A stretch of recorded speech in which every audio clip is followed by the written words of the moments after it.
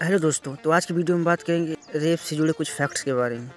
और यह फैक्ट्स जानकर आपके रोंगटे खड़े कर देगी। तो आइए वीडियो स्टार्ट करते हैं। साल 2013 में भारत में करीब पच्चीस हज़ार रेप के मामले दर्ज हुए थे। भारत के हर एक लाख नाबालिग लड़कियों में से सात हज़ार लड़कियों को रेप हो रहा है।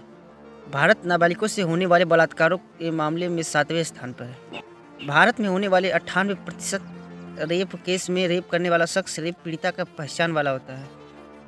कुल रेप पीड़ितों में से चौवन परसेंट लोग कोई रिपोर्ट दर्ज ही नहीं कराते हैं। तो फिंगर टेस्ट नामक एक प्रक्रिया है जिसमें यह चेक किया जाता है कि महिला का रेप हुआ है या नहीं। आपको जानकर यह बहुत हैरानी होगी कि अमेरिका में महिलाओं से ज़्यादा पुरुषों का रेप होता है। तो दोस्तों आपके हिसाब से रेप करने वाले इंसान को क्या सज़ा मिलनी चाहिए? हमें कमेंट करके ज़रूर बताएँ। और ऐसे ढेर सारे फैक्ट्स को देखने के लिए हमारे चैनल को सब्सक्राइब करें।